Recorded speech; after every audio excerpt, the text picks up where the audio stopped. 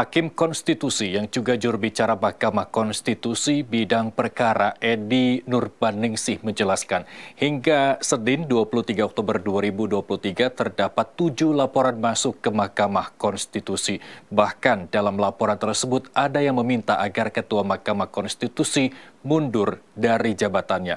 Dan berikut keterangan juru bicara Mahkamah Konstitusi bidang perkara yang juga Hakim Mahkamah Konstitusi Edi Nurbaningsih termasuk kemudian laporan eh, terhadap hakim yang menyampaikan dissenting opinionnya. Dan kemudian ada lagi yang khusus eh, mengabulkan termasuk yang memberikan concurring opinionnya. Dan kemudian ada yang berkaitan dengan eh, laporan khusus kepada ketua MK untuk mengundurkan diri.